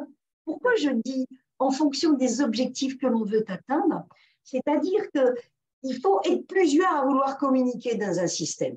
C'est-à-dire qu'on peut être le plus grand communicateur du monde. Si vous êtes face à quelqu'un qui ne veut pas communiquer, eh bien, vous n'obtiendrez pas grand-chose, mm. si ce n'est de dire, ben voilà, la seule chose qui était sous, sous mon contrôle, c'était d'exprimer ce que j'avais à dire, mais nous n'arriverons ni à communiquer, ni à négocier. Ça, c'est aussi possible de rencontrer des gens comme ça. Donc, euh, simplement, euh, qu'est-ce que j'ai noté encore? J'aurais encore quand même une petite question. En tout cas, c'est des questions que je pose parce qu'on est en train de débattre et j'aime bien justement que les personnes qui voient euh, le, replay puissent se faire des idées peut-être un peu plus, tant qu'on a encore un peu de temps, un peu plus ample. Mais lorsque tu dis l'objectif, donc connaître son objectif pour communiquer, développer une stratégie, est-ce que euh, quelque part, euh, ça, coupe un peu la, liberté à la communication spontanée? C'est une demande, hein, vraiment. Alors, ça, c'est ce qui se passe dans tous les apprentissages. Hein. Il y a un premier moment où on va apprendre, on va avoir des outils. Là, tous les gens qui ont fait les bases euh, savent de quoi il s'agit on va effectivement avoir des outils. Et au départ, on ne peut pas s'en servir de tous. Donc, on perd un petit peu de sa spontanéité. Par contre, une fois qu'on l'a fait, c'est, dire, c'est toujours comme ça. Moi, je veux dire, ça fait très longtemps que quoi qu'il se passe, je sais que je vais faire exactement ce que je vous dis là, c'est je vais écouter ou je vais exprimer, euh, je, je, vais vraiment faire en fonction, sans oublier jamais dans quel contexte je suis, bien évidemment parce qu'il y a des contextes où on n'a pas à communiquer. Mais je vais vraiment appliquer tout ce que je dis. La congruence, pour moi, est l'une des plus grandes valeurs qui sont importantes. Et quand je commence à être un petit peu à côté de la plaque, je me dis, Brigitte, pas congruence. Et c'est ça qui me permet de me remettre comme ça. C'est vraiment, au départ, on ne sait pas qu'on ne sait pas. Ça sont les stades de l'apprentissage. Ensuite, on sait qu'on ne sait pas et donc on va apprendre. Ensuite, on a appris, et c'est là où on perd un petit peu de spontanéité parce qu'on dit, alors j'utilise ça, j'utilise ça, j'utilise ça. Et puis, parce qu'on l'aura pratiqué, c'est comme une langue étrangère, et eh bien au bout d'un moment, on est inconsciemment compétent. C'est-à-dire qu'en fait, on le vit et on est vraiment dans un naturel tout à fait euh, euh, efficace. Donc, c'est un stade, c'est tout. Quel, quel conseil est-ce que tu pourrais donner aux personnes qui euh, n'arrivent pas justement à communiquer leurs peurs, euh, leurs angoisses. Travailler sur ah. soi, travailler sur soi. Et pour ça, il y a plein de manières de le faire. Hein. C'est le développement personnel aujourd'hui est très développé. Pardon? Comment, comment un enfant de 5 ans qui a peur d'exprimer une émotion parce qu'il a peut-être eu un traumatisme ou il a peut-être des choses qui se passent à l'école et quand il rentre, il a peur d'en parler, il va pas se former en PNL. Donc comment est-ce qu'il pourrait, euh, comment est-ce qu'un parent pourrait arriver à, débloquer un peu cette peur-là et, euh, Alors déjà, la première chose, c'est que communiquer, c'est déjà quand l'enfant est dans le ventre. Vous savez que maintenant, on fait plein de choses pour ça, c'est génial. C'est-à-dire, on fait de l'autonomie, on fait plein de choses comme ça, c'est génial. C'est-à-dire, ensuite, on va, dès qu'il grandit, en fonction de ses besoins, c'est répondre à ses besoins. Et s'il sait qu'on a toujours fait attention à ses besoins, eh bien, euh, il sait qu'il va pouvoir dire quelque chose. Il n'aura pas peur de le faire. Hein faut qu'il n'ait pas peur, il ne faut pas qu'on lui tape dessus, il ne faut pas qu'on le dispute tout le temps, euh, etc. Donc, c'est lui dire, tu peux dire quelque chose, on peut ne pas être d'accord, et puis juste, on en parle. Donc, s'il a peur, effectivement, et parce qu'il a eu un trauma à l'extérieur. Bon, le trauma à l'extérieur, c'est là où les parents doivent être extrêmement euh, vigilants, c'est dès qu'il y a une différence de comportement chez l'enfant, c'est aller chercher soi-même son, son, son l'info chez l'enfant, et c'est-à-dire tout de suite le sécuriser en disant quoi qu'il se soit passé, moi j'ai l'impression qu'il se passe quelque chose parce que euh, tu pleures plus souvent ou euh, tu restes dans ta chambre, enfin je ne sais pas ce qui se passe, c'est surtout sache qu'ici tu es en sécurité et que tu peux dire les choses. C'est lui manifester cette sécurité. C'est fondamental la sécurité, surtout avant 7 ans. Hein. Euh, jusqu'à 7 ans, on fait l'individuation, c'est-à-dire toute la structure de l'enfant. Et c'est pour ça que les enfants qui ont subi euh, des, traumas, des abus, des choses comme ça avant 7 ans, eh bien, le problème, c'est qu'ils risquent d'avoir une structure sur laquelle ils vont créer le reste de leur vie et que juste les structures ne sont pas toujours très euh, solides à cause de ça. Et donc, c'est éventuellement, après, quand ils sont plus grands, de travailler aussi sur la structure pour en faire quelque chose de positif et de costaud. Mais là, on est vraiment dans des travails thérapeutiques. Hein. On n'est plus euh, dans la communication de base. La communication de base, c'est dire, il se passe quelque chose, bien là. Tu, ne dois pas avoir peur, je peux tout entendre. C'est très important que tu le dises et n'en discutes je, suis tout à fait d'accord avec toi. Mais ici, euh, bon, l'idée, l'idée, c'est d'essayer de répondre aux questions. Hein. On, m'avait déjà posé un peu quelques questions, mais euh, de sortir surtout du cadre idyllique, parce que les, familles qui déjà agissent, comme tu l'expliques, et euh, mettent en pratique cette communication comme elle devrait être, on va dire, dans le respect de l'autre et, et, dans le respect de soi-même,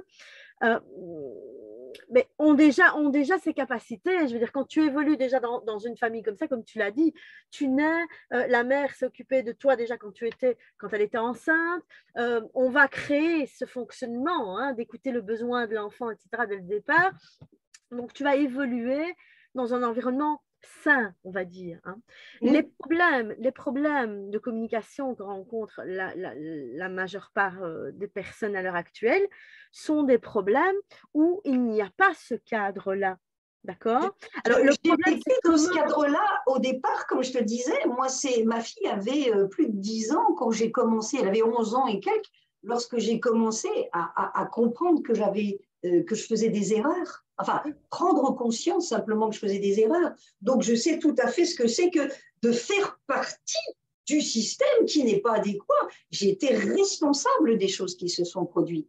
Et donc, c'est vrai que ma fille aînée, hein, elle a dû consulter des thérapeutes, hein, effectivement, euh, à l'extérieur de moi. Et puis ensuite, comme moi, j'ai pu continuer le travail des thérapeutes parce que après j'ai compris ce qui était juste, alors c'est comme ça que ça se fait. Hein. Ça veut dire quoi? Ça veut dire que on peut très bien faire des choses qui ne sont pas adéquates et en même temps se dire ben, je me suis trompée, je ne referai pas la même chose. Et puis aussi, il y a une chose que je note aussi dans ce que je voulais vous dire, c'est qu'il faut savoir s'excuser auprès de ses enfants et il faut savoir demander pardon. Moi, c'est ce que j'ai fait avec ma fille aînée parce que oui, j'avais merdé, j'avais merdé avant et que je ne savais pas quoi faire d'autre parce que, encore une fois, c'était il y a longtemps, hein, ma fille a 47 ans, donc, euh, donc c'est pour vous dire que à l'époque, aller chez un psy, il fallait cacher qu'on allait chez le psy. Moi, au début, je suis allée chez un psy, je ne le disais pas parce que ça ne se faisait pas. Là aussi, c'est toujours important de remettre ce qui dans les époques. Hein, parce que ça change beaucoup les choses. Donc oui, j'ai fait plein d'erreurs et quand j'ai, ben voilà, j'ai et, j'ai fait aussi beaucoup de mal. Et euh, en fait, ça peut s'arranger parce qu'on peut désapprendre ce qui n'est pas bon, on peut apprendre ce qui n'a pas encore été appris et ça jusqu'à la fin de nos jours. C'est, moi, je suis sûre que j'apprendrai encore des choses euh, sur moi, sur les autres, euh, à mon dernier souffle soit le plus loin possible, bien évidemment. Mais euh, je pense qu'il y a toujours quelque chose à, à, prendre conscience, enfin, dont on peut prendre conscience et, modifier les choses, je pense. Vraiment. Donc, travailler sur soi, c'est permettre à l'enfant de savoir euh, bah, qu'il euh, y a toujours des possibles changements et, et, que la vie est ce qu'on en fait. Et que si on veut qu'il y ait une harmonie quelque part, nous en sommes responsables. Voilà. Ce sera le mot de la fin, mes chers amis. Les âmes plus vieilles aussi, les enfants, hein, ils ont une incarnation supplémentaire, donc euh, il ne faut pas l'oublier, c'est très important au niveau de la Je n'ai communication. pas compris ce que tu as dit, excuse-moi. euh. Je dis, ce sont des âmes plus vieilles. hein. Les enfants ont une incarnation. euh, Oui, comme tout à chacun. Enfin, euh, Pardon? Je dis comme tout à chacun. Nous, sommes tous des incarnations d'âmes euh, qui sont plus ou moins vieilles, puisque tu parles d'âmes de, de- de- Oui, enfin pas tous, hein, mais il y en a, oui. Alors, euh, on a parlé de, de- la famille au niveau parents-enfants, etc. Mais euh, j'aimerais bien qu'avant de nous quitter, on parle un peu aussi de la famille, le couple, parce que c'est quand même le couple qui crée la famille. Donc, qu'en est-il de la communication sentimentale au sein du couple? Alors, quand tu dis communication sentimentale, déjà pour moi, il y a un paradoxe. La communication est une chose et le sentiment en est une autre. Le sentiment, en fait, pardon? Communiquer son sentiment, hein, communiquer avec la personne Donc, c'est aussi parfois très difficile. Mais bien évidemment, ça, ça, c'est exactement les mêmes principes. Ce qui est important, c'est de ne pas avoir de peur de connaître l'autre et de ne pas avoir peur de se faire connaître de l'autre. Pour ce faire, encore une fois, en amont, c'est bien se connaître, s'accepter et s'estimer. Cette fameuse estime de soi qui est fondamentale et qui euh, veut dire que l'on a de la valeur, qu'on se donne de la valeur en tant qu'être humain. Donc, effectivement, ça, c'est important. Et lorsque je suis avec l'autre, ce qui est important, c'est que si je me connais, que je sais vivre avec moi, eh bien, je pourrai plus, facilement vivre avec l'autre. Pourquoi? Parce que je ne chercherai pas chez l'autre à ce qu'il comble mes manques, ou alors que je fasse des projections, c'est-à-dire que je lui colle des choses qui ne sont pas lui, qui sont à moi. hein. C'est euh, effectivement toutes ces... euh, Au revoir, Babette. Je, je vois que tu t'en vas. Au revoir. Au revoir, Babette.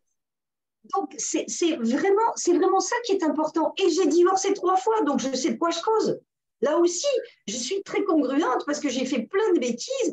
Et le troisième compagnon que j'ai eu, le troisième compagnon, je, je suis sûre que j'ai bien appliqué tout ça.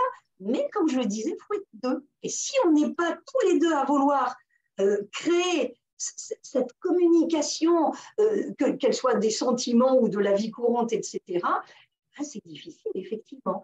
Et c'est vraiment, c'est s'accepter soi-même pour pouvoir accepter que l'autre soit interdépendant. On dit toujours, je suis bien sans toi, tu es bien sans moi, et qu'est-ce que nous sommes heureux quand nous sommes ensemble. Ça, c'est vraiment quelque chose qui s'apprend aussi. Parce que, encore une fois, on est plein de croyances, on est plein euh, de, de- de- de choses que l'on porte de l'extérieur et puis de l'intérieur qu'on a créé selon les expériences qu'on a suivies. Et c'est vrai que c'est embêtant. Par exemple, on s'aperçoit que souvent, au revoir Catherine, Au revoir, Euh, Catherine. souvent, euh, quelqu'un qui a eu un, un- un parent qui battait, au revoir Anne, qui Ah battait, non, par je dis au revoir euh, à Catherine. tu dis au revoir, ah, pardon. Euh, oui, si on a, on a vu souvent, par exemple, euh, papa qui battait maman, ou quelquefois maman qui battait papa, hein, parce que ça existe, même si c'est plus rare, eh bien, très curieusement, de manière complètement inconsciente, on risque de rencontrer des, gens qui vont nous battre de nouveau ou qui vont être méchants avec nous. Pourquoi? C'est parce que nous ne nous acceptons pas tels que nous sommes et surtout, nous ne nous respectons pas. Donc, ça aussi, c'est très difficile à faire parce que, je répète, cette peur de ne pas être aimé ou d'être mal aimé ou euh, cette peur de dire, voilà, j'ai un rôle avec euh, mon chéri ou ma chérie, j'ai un rôle. Si jamais je montre qui je suis, ah, ça va être une catastrophe, il ne va pas aimer ou il va détester ou il va me faire du mal. C'est toutes ces choses qui sont euh, vraiment nécessaires de nettoyer. hein. Ça revient toujours à la même chose, c'est travailler sur soi, c'est simplement, je vais dire, épousseter, déconditionner tout ce dont nous sommes porteurs et qui ne pas vraiment, n'est pas vraiment à nous en fait. C'est vraiment ça qui est important de faire. Donc oui, c'est difficile et c'est possible euh, parce que j'en connais et tous les couples qui euh, euh, communiquent bien, ce sont des couples qui ont une grande facilité de passer au-dessus des conflits et d'en faire quelque chose de constructif. Et aussi, ce sont les couples qui durent le plus longtemps. Alors, je connais des couples comme mes parents, ils ont fêté leurs 50 ans de mariage, ça a toujours été une catastrophe, mais on était aussi dans une époque où euh, finalement on ne divorce pas. Hein. Moi, quand j'ai divorcé la première fois, ma mère m'a dit Tu es la première à qui ça arrive dans la famille. Et ça, c'était scandaleux. Alors qu'elle avait été malheureuse toute sa vie, et moi qui ne souhaitais pas vivre la même chose, elle me disait que c'était un scandale que je le fasse. Donc, c'est ça, c'est comme tu dis, ce sont les croyances que l'on a, ce sont du coup, les attitudes, les, les choses que l'on met en place. Et moi, je dis toujours, il vaut mieux qu'un enfant ait des parents qui soient séparés, qui s'entendent très bien, plutôt que de rester avec des parents qui sont toujours dans euh, la dispute, la discorde, etc. Parce que, comme tu le disais, on donne un modèle qui est terrible, qui est à la fois déstabilisant, destructeur pour l'enfant, et puis qui ne donne pas du tout un espoir, je reparle encore d'espoir, de il est possible d'être heureux avec quelqu'un. Voilà. Mmh. Mmh. Belle conclusion, hein c'est bien. Est-ce que quelqu'un va intervenir? Anne. Bah, moi, j'avais une question, mais c'est pas tout à fait dans le dans, ce que je dire. Euh, non, je suis d'accord avec toi que la, communication est importante dans les, dans les couples. Et... Mais ce que je voulais, c'est écouter. Des, je voulais des outils pour écouter. C'est actuellement euh, ce dont j'ai besoin, parce que j'ai du mal à écouter les gens. Ok, alors il y a plusieurs choses. Dans, dans l'écoute, euh, il faut déjà euh, qu'on ait une capacité, j'ai envie de dire, physiologique, c'est-à-dire qu'on entende bien. Ça peut paraître idiot, mais moi qui suis appareillée, je sais ô combien c'est important. Parce que si je ne comprends pas bien, mais véritablement, là c'est vraiment à l'écoute, eh bien je risque d'interpréter même si je ne veux pas le faire. C'est tout bête, c'est physiologique. Ensuite, pour écouter, il faut, pour moi, avoir un objectif. L'objectif, c'est simplement, je suis concentré pour pouvoir prendre l'information de l'autre et la faire rentrer à l'intérieur de moi pour que j'essaie d'avoir la même représentation que l'autre personne. Ça répond à ça. Ça veut dire aussi que, par exemple, si je suis fatiguée, si je suis malade, si je suis malentendante, c'est beaucoup plus facile, et c'est beaucoup plus difficile, pardon, d'écouter tu vois. Et euh, là aussi, c'est si je suis aussi perturbée par mes propres problèmes. C'est si on n'écoute jamais, quelquefois, c'est vachement difficile d'écouter l'autre parce qu'on ne peut plus, parce qu'on est à saturation. Tu comprends? C'est de dire, moi, je ne peux plus vous écouter, vous voulez tout ce que je vous écoute, je n'en peux plus. Et je ne peux pas écouter. Mais ça, c'est une histoire d'énergie, de capacité à l'écoute. Et c'est vrai que écouter vraiment, c'est hyper fatigant. Moi, je sais que quand j'ai écouté quelqu'un toute une journée, mm. je suis HS, simplement parce que mon attention était importante. Et du coup, on peut me critiquer si le soir je me dis, moi, je regarde la télé, parce que quand je regarde la télé, si j'écoute pas, tout le monde s'en fout. Parce que je suis passive. Je n'ai pas besoin, tu vois, de cette concentration, de cette énergie et de cette nécessité de comprendre, d'écouter pour comprendre, éventuellement de répondre à des questions.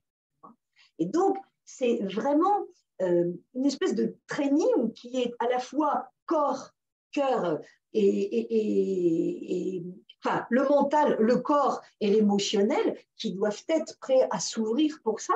Et je répète, si je ne suis pas bien, je ne peux pas écouter les autres d'une aussi bonne manière. D'accord? Donc, euh, et en plus, bon, je sais que tu viens de faire un voyage très usant, etc., qui a eu en plus plein de difficultés pour rentrer, etc. Dans ces cas-là, bah, tu rentres, la seule chose que tu dis, c'est je suis orienté moi et je me repose. Et je me repose. Je ne peux pas vous écouter en ce moment. Je suis trop crevée. Et si je dis que je vous écoute, je mens. Et donc, je ne suis pas honnête. Et si je ne suis pas honnête, je ne peux pas vous rendre service. Tu comprends? Et c'est aussi accepter ces moments ou eh ben, on ne peut pas faire pour les autres. Et oui, on n'est pas coupable du tout. On s'écoute soi-même parce que quelquefois, c'est beaucoup plus important d'écouter les autres. Ça va dépendre des circonstances. Mmh mmh Et accepter d'avoir de, des moments où on, a. personnellement, je suis dans des moments, j'en sors, mais où, où j'arrive pas à écouter parce que j'ai besoin, moi, de parler, d'extérioriser. C'est ce que tu dis, j'ai plein de choses en moi que j'ai besoin de sortir euh, c'est on, on, fait toujours du mieux que l'on peut. Hein. Se juger, dire c'est bien ce que j'ai fait, c'est pas bien. C'est juste, ben voilà, il y a des moments où j'ai la connexion à toutes mes ressources. Hein. Et puis il y a des moments, eh ben, ma connexion, elle doit être qu'à moi, au fin fond de moi, et de me dire là, je m'occupe de moi, je prends soin de moi. en anglais, tu le sais, souvent ils disent take care. Take care, c'est partout, c'est prends soin de toi, prends soin de toi. Et c'est vraiment important. Et, depuis que je suis allée en Nouvelle-Zélande, justement comme toi, c'est vrai que je le mets souvent, ça prenez soin de vous, parce que c'est ça qui est important. Personne ne prendra soin de vous aussi bien que vous pouvez le faire. Et je prends toujours ce fameux exemple de quand on est dans l'avion, Hein, on vous dit, en cas de dépressurisation de la cabine, les masques à oxygène vont tomber. Si vous êtes responsable de quelqu'un, vous mettez d'abord le masque à oxygène et ensuite vous le mettez à l'autre. Parce que si vous ne mettez pas le masque à oxygène, vous serez morte avant de le mettre à l'autre. Et ça n'a pas de sens. Avant de nourrir les, autres, je me nourris moi-même. Ça, c'est vraiment fondamental. Et ça n'est pas égocentrique du tout. C'est se nourrir pour pouvoir nourrir les autres ensuite. Comme la maman qui donne, qui allaite son enfant, si elle se nourrit mal, elle va mal allaiter son enfant. C'est exactement la même chose. Ok, merci. Voilà, ben, il est arrivé euh, le moment de se quitter. Hein. Euh, je vous remercie d'avoir été parmi nous. Euh, je vous invite à visiter ma chaîne YouTube où vous verrez plein de chouettes euh, inviter euh, des auteurs, des spécialistes de plein de sujets et domaines différents euh, avec lesquels j'ai organisé des tables de conversation sur de chouettes sujets. donc, je vous invite à les visualiser et à participer peut-être à d'autres. Aussi, si vous connaissez dans votre entourage des spécialistes comme Brigitte, ou des personnes qui traitent d'une thématique bien spécifique et qui ont envie d'en parler et d'en faire profiter justement euh, d'autres personnes euh, au cours d'un débat comme celui-ci, n'hésitez pas à m'envoyer un petit message ou à leur donner mes coordonnées, je les contacterai, soit pour faire une interview sur le blog, soit pour faire une table de conversation, parce que c'est toujours des moments chouettes et agréables. La prochaine, pour ceux qui n'étaient pas là, ce sera sur la loi d'attraction avec un auteur en direct du Canada, où on fera une analyse scientifique et ésotérique de la loi d'attraction. Et ensuite, euh, un mamo indien euh, en direct de Colombie qui va nous expliquer leur vision euh, de prévention de la santé. Voilà, donc ça va être chouette. participer, c'est toujours gratuit de toute façon. et, voilà. Merci encore d'avoir été là ce soir. Merci à toi, Brigitte, d'avoir accepté mon invitation. Merci, à tout le monde. Merci, à toi, Yannick et à très vite. J'espère que ça vous a plu. C'est vrai qu'en une heure et demie, comme disait Brigitte au début, c'est difficile de traiter un sujet. On fait un peu le tour, mais on peut pas vraiment de tout. Par contre, je vous ai mis la carte de visite, le billet de visite euh, de, Brigitte. Si vous avez des questions ou vous voulez euh, une consultation avec elle ou peut-être améliorer quelque chose, euh, discuter. Par exemple, justement, mon stage sur comment aider nos enfants à être des champions de la vie. Là, vraiment, on passe trois jours où on parle vraiment de ces principes éducatifs, comment se débarrasser des nôtres et comment mettre en place de bons principes pour nos enfants qu'ils acceptent. Hein, c'est vraiment ça, pendant trois jours, on fait ça. Donc, je vous ai mis ses coordonnées. Vous pouvez la joindre euh, directement, télécharger ici dans Zoom euh, sa carte de visite. Je vous ai mis également les miennes si vous voulez découvrir mon site, lire mes articles quotidiens euh, en vous inscrivant par exemple à la newsletter ou encore participer à des formations comme le coaching Change ta vie en 10 semaines que je propose. Vous pouvez trouver tout le programme sur le site internet et le tarot, bien entendu, puisque c'est mon expertise. Voilà, je vous remercie de m'avoir suivi et je vous souhaite une bonne soirée. Bonne, soirée. Bonne soirée. Bonne soirée. Bisous à tout le monde. Bisous, au revoir tout le monde. Merci.